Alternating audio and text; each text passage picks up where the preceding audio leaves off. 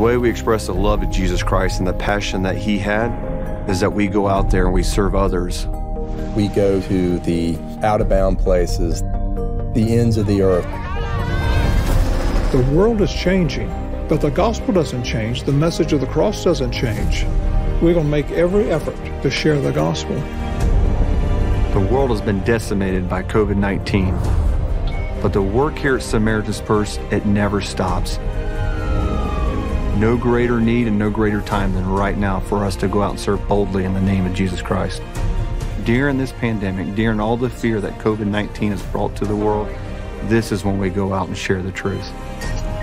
This is an opportunity to take the gospel to the ends of the earth. God has told us to go into the world, uh, to make disciples of all nations. That great commission is still in play today. We have a job to do. And missionary medicine is one of the great tools for evangelism. Is there a sense of urgency? Yes, there is. Get out there to be a part of this. Right now, it's the time. In Jesus' name, amen. So come, be a part of this. We need you. Hello, my name is Ken Isaacs, and I work with Samaritan's Purse, and today I'm speaking to you from Boone, North Carolina. And I want to deliver my warmest greeting to everyone participating in the Nurses Christian Fellowship International Virtual Congress. And it is a great honor for me to be able to address you today. I serve as the Vice President of Programs and Government Relations with Samaritan's Purse, and I have been doing international relief work for almost 35 years. I've had the opportunity to work in over 120 countries, and I've traveled to more than 150. Samaritan's Purse is a Christian evangelical organization that follows the role of the parable of the Good Samaritan. When a man was beaten, left in the ditch to die, and the religious people of the day walked around the man. But a Samaritan, a social outcast, came to the man. He saw him, he took pity on him, he went to him. The first thing that the Samaritan did was he bandaged his wounds. He bathed them in uh, oil and wine. He put the man on the donkey. He took him to the hotel. It's called an inn, but he took him to an inn and he took care of him. And there the man would have received food, he would have received water, he would have received clothing. And the Samaritan left two coins and said, Please take care of him to the innkeeper, and when I come back, I will pay you the difference. I see the parable of the Good Samaritan very much aligned with the role of nursing. Nurses are the people that go to folks in need. Nurses I have seen in the hardest places in the world. Nurses are the ones that hold their hands, wipe the sweat from their brow, take their temperature, clean their bedpans, make sure that their medicine is the right medicine. They feed them, they console family members. Nurses are the backbone of the healthcare system. The typical nurse ratio for patients in the United States could be five to eight patients per nurse. But when we are responding in a crisis, whether it's in Mosul, Iraq during the war, in Ecuador after an earthquake, sometimes those patient loads, particularly during COVID, when the work burden has been so enormous on the entire nursing staff of hospitals around the world, that load can get 10, 15, even 20 patients per nurse. I have seen nurses come out of wards and they are physically exhausted. They are emotionally depleted. They can hardly stand, and yet they don't want to quit. They want to go back in. So I know that over this past year during the pandemic, it has been an enormous burden. But nurses have made the difference. To me, nurses are the heroes of the front lines. Whether that front line was Ebola, whether it was COVID, whether it was trauma injury, whether it was any other kind of crisis that we respond to through our disaster response teams, I know that the work toll the emotional toll, and even the spiritual toll on nurses is heavy. This kind of work has a horrible toll on the psyche, on the strength, on the spiritual resiliency of nurses. And I just want to encourage all of you. Please try to find the time that you need to rest. Please take care of yourselves. Please take care of your coworkers. You need each other. Everyone that is walking through fire together tend to walk through it as a group. And when that is happening, I know from my own career in emergency response, it's the people that is immediately in my group, the people who are my coworkers, we draw encouragement from one another. People come and encourage me. They'll encourage me with a Bible verse. They'll encourage me with a prayer. They'll encourage me with, it might just be a two minute hands on here, I'm going to help you. One of the unique things about COVID, and you know, it has very many similarities to Ebola in that the patient is isolated and the healthcare staff that come in are wearing, let's say, spacesuits. There's really not the opportunity for easy connection with patients. So many times, our staff have gathered around the bed and just whispered Jesus over the name, have prayed for the patient. We pray for the patients that are coming in, but we have seen also patients come to faith in Christ because I believe that the quality of our work is the platform of our witness. And when you're a nurse, when you're helping somebody uh, get through a severe sickness, when you're nursing them back to health, uh, to, to share your faith with them, to encourage them, to ask them, May I pray for you? I've never seen anybody say no to that. And their heart is in a tender place, and they're open to the gospel. And when you whisper Jesus' name, it is a powerful name, a name that goes beyond power as we can imagine it. There is power in God's word. Sharing the name of Jesus sharing a Bible verse with a patient who may well be on their deathbed. They don't know what the next hours are going to hold, they don't know what tomorrow is going to hold. God gives you a unique opportunity and a platform to not only help in His name, but to share His name with your patients. And that is a very unique opportunity that you were blessed with by being a nurse. Samaritan's Purse has many programs around the world. And one of the things that we have put a lot of time and attention into developing over the last 20 years is our ability to respond during emergencies and health crisis all around the globe. You could see examples of that, whether it was in the earthquake in Ecuador, the war outside of Mosul, the COVID pandemic in New York or Cremona, Italy, or California. There's many different areas that we have been involved in emergency medical response. And in my career and in my leadership role here, I can tell you that the key thing are the people that serve with us. And among those key people, the single most important role that we have is the role of nurses. Nurses are enormously valuable we find in nurses the caring, practical skills, not only for patient care, but also the organizational ability to run the entire hospital. So, as an example, in both Cremona, Italy during COVID 19, in Central Park during COVID 19 last year, we had a 70 bed hospital and a 68 bed hospital. It was in March and April. The whole world was learning about what COVID was. And the people that we mostly depended on to treat patients in those two facilities were nurses. It was nurses that were doing the backbreaking hard work, nurses that were holding their hands in the intensive care unit, and some of them didn't make it. Some of them did. It was nurses who turned the patients over. It was nurses who carried the heavy workload where they would have 10 and 12 patients per nurse. Doctors are valuable and they serve a role. And we won't make any jokes today about doctors, but all of you nurses that are listening will know what I'm talking about. It's nurses that we seek to recruit more than anyone else.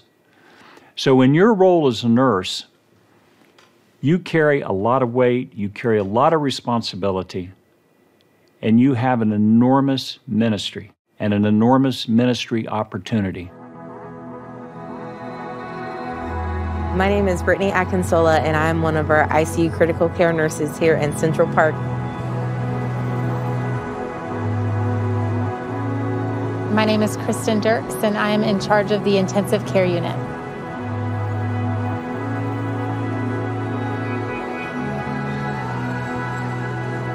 I could have never guessed, even a month ago, that I would be here in Central Park doing this work in our emergency field hospital.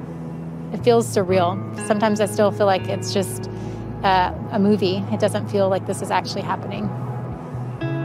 I've visited the city many times. I've, I've visited right here in Central Park several times, but I've never seen the city in this way before. It's, it's more difficult because it's so close to home. Typically, on my way to work here, um, I'm praying for what occurred in the night, if certain patients made it through the night. I'm also thinking of my family back home. Our patients in the ICU are very sick patients. I'm here to bring hope and love and joy to these patients as well. And so, in those moments, those are the things that keep us going and keep us motivated to keep serving and to get up every single day and keep coming back. In the intensive care unit, whenever a patient is put into a deep sedation, we then take over for them. We are providing nutrition for them uh, through a feeding tube. For some patients, we also have to help their hearts beat well by giving them certain medications. Our role as the nurse is to step in and provide comfort when we can. So it's a heavy burden to bear, knowing that for some of these patients, when they are passing away, that we are the last people holding their hand, uh, singing over them. I think of my mom, if she were in the situation where she was needing care, I'd want someone to just love and be compassionate for her. I try and think of the things that I would want my family to have in their last and final moments, and that's what we try and do every day when we're in there. When we're working, there's always moments where I feel like God is just reminding us of how good He is. We'll have something very sad happening in the ICU, and then we'll hear that cowbell outside of our tent, and that means that someone's going home to reunite with their family that they've been healed from this disease.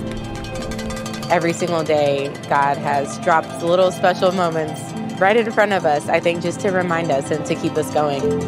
My hope is found in Christ, and the hope that I get to wake up another day God talks about being close and near to the brokenhearted and that He lifts us up in spirit. And I know that God hasn't left us and that He's here. This experience has been, it's really been an honor to, to be here and to be a part of this. It's different than anything I've ever done before. And I've just seen healthcare workers unite in a way that I've never seen before through this tragedy. Um, but also, it is for sure the strength of the Lord that, that is in us that keeps us going. And we know that He's called us to be here for such a time as this.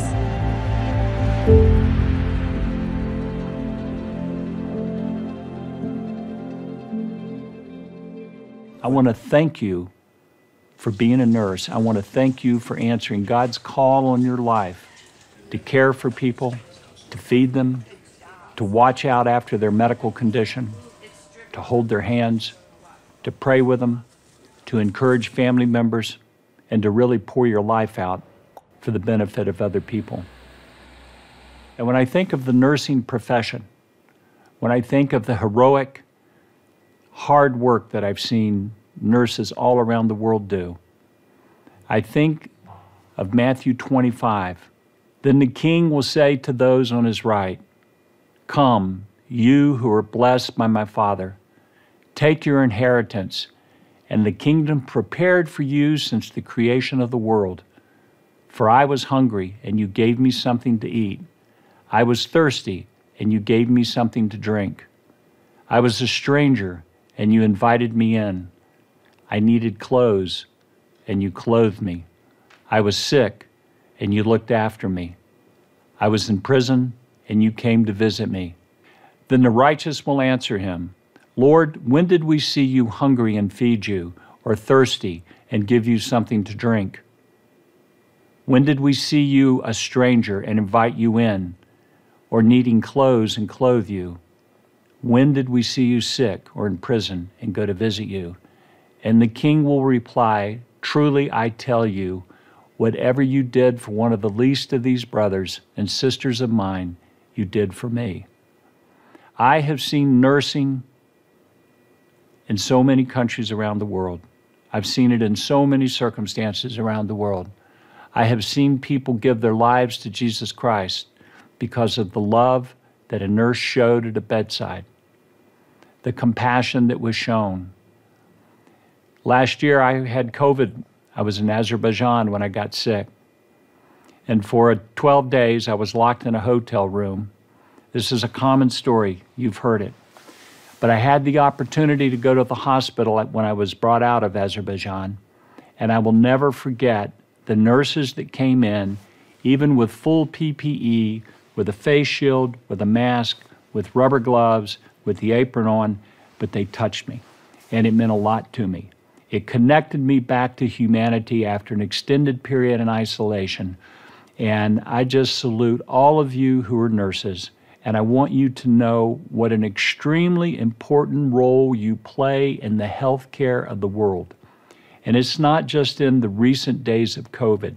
If you look at the way that medicine is developing today in the developed world and the developing world, it's much more around a public health model.